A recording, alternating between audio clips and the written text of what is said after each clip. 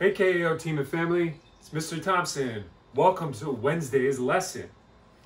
For today, we're going to analyze the ways in which a story's setting, characters, and plot affect one another, including how the main character develops or changes in response to the conflict. In other words, today we're really going to be looking at and analyzing the way that plot, setting, and character interact in a literary text. For today's lesson, you just need two things access to Google Classroom and a computer, smartphone, or tablet to do your work on. Key points for today's lesson. Today, we're going to work on a lesson about analyzing story elements and how they influence one another. We will focus specifically on plot, character, and setting. Analyzing the inter interactions between a story's setting, characters, and plot will help you better understand and appreciate the stories that you read. Setting, character, and plot, they're all considered story elements. It's important to understand that story elements are dependent on one another. That means they influence one another in a text. Today, we're going to learn about how each of these story elements specifically influence one another, and that's going to help us better understand these complex texts that we're working through. So, some key vocab for today's lesson. We have plot, setting, character, conflict, and resolution. Plot is the events of a story. Setting is where and when a st story takes place. Character are the people or animals in a story. Or another way to say that would be who the story is about. Conflict is the problem in a story, and resolution is how that problem is solved. A story would not be complete or interesting to read without all the parts working together. These parts, called story elements, include its characters, setting, and plot. Analyzing a story means figuring out how these elements work together. For example, you can analyze how the setting of a, a story shapes its plot. A story's plot includes its conflict, or a problem the characters must respond to and a resolution is the way in which that problem or conflict is solved. So for today's model, I want you guys to open up your document and we're going to start today out by looking at this illustration from a cartoon.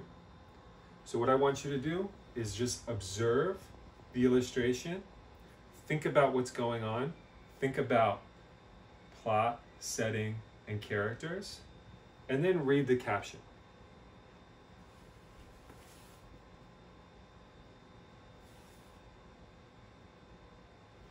Okay, so I want you to think about the character's problem and the role that the setting plays in that problem.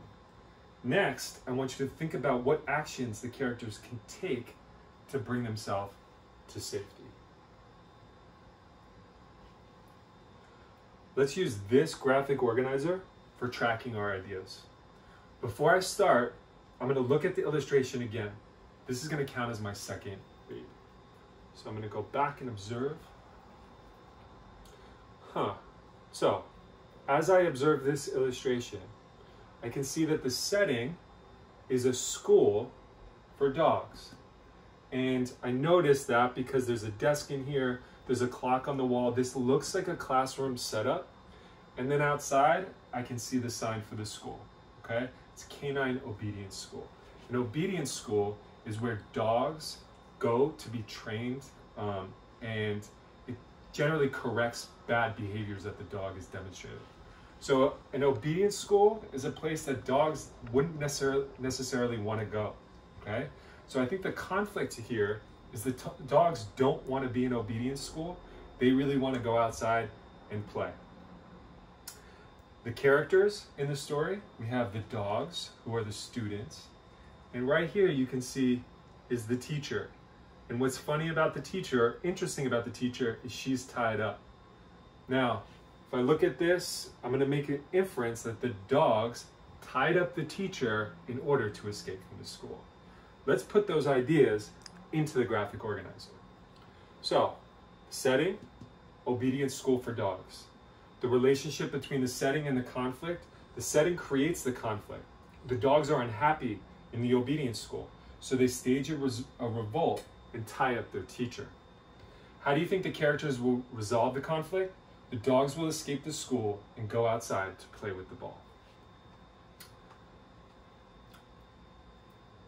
Okay, so to continue with the model, we're going to look at this story.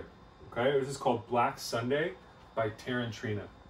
Uh, this is a uh, considered a work of historical fiction. Um, I want you guys to analyze how the story elements come together to shape the story.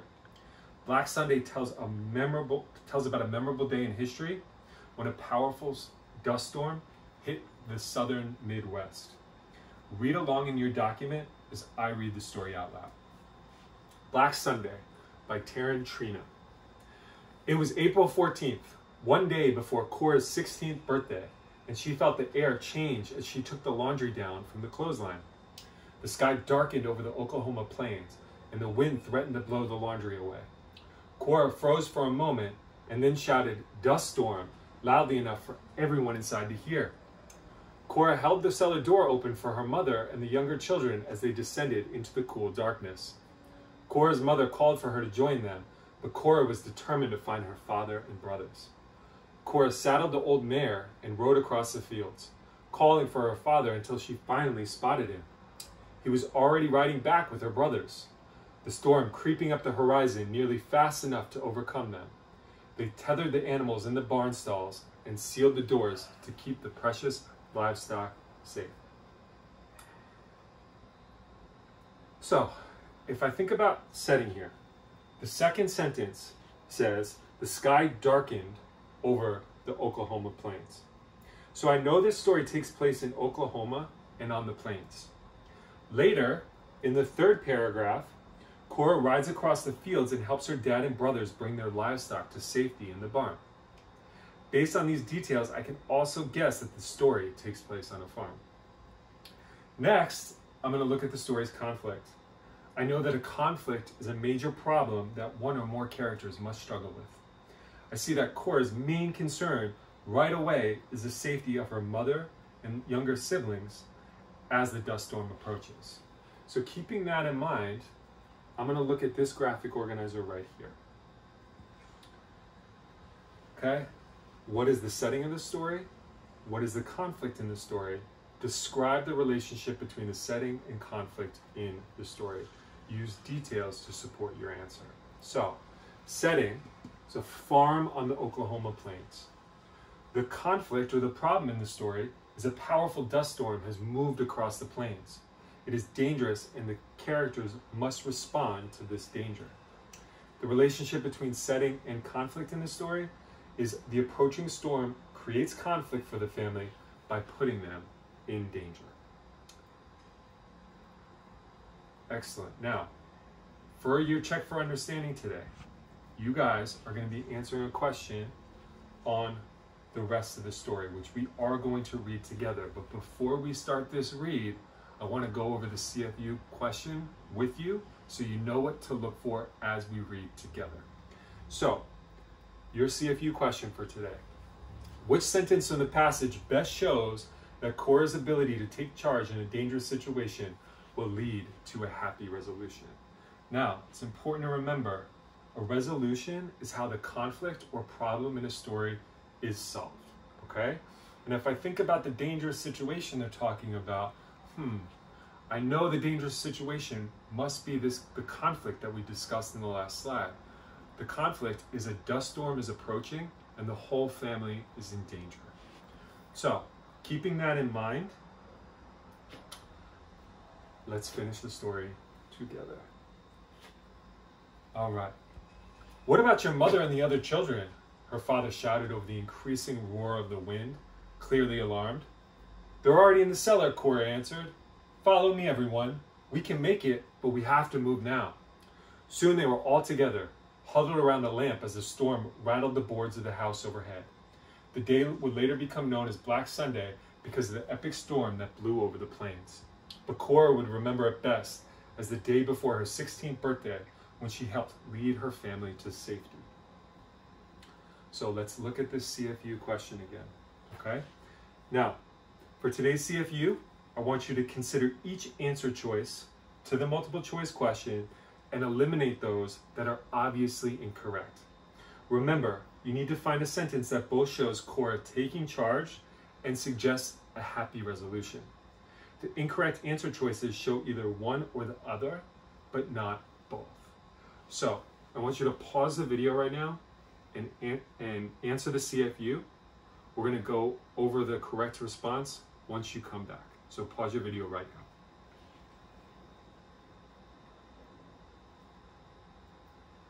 All right, guys, welcome back. For our CFU today, the correct answer is answer choice C. Okay, now I'm going to go through all of these and we're going to talk about why C is the best choice. So answer choice A is incorrect because this sentence shows Cora taking charge, but does not suggest a happy resolution or ending to the story.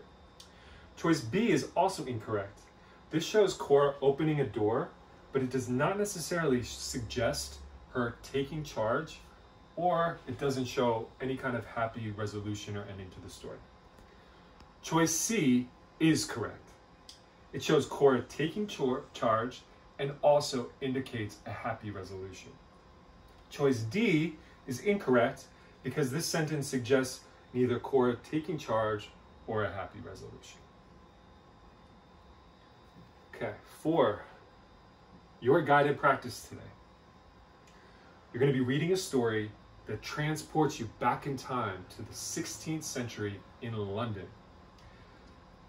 As you read, Look at character, plot, and setting.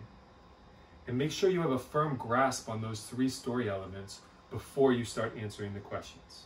So, just some background for the text you're going to be reading, okay? So, this is from The Prince and the Pauper, which is by Mark Twain. It's a very famous American author. In this scene, a beggar boy sets off a surprising chain of events at a London castle in the year 1547.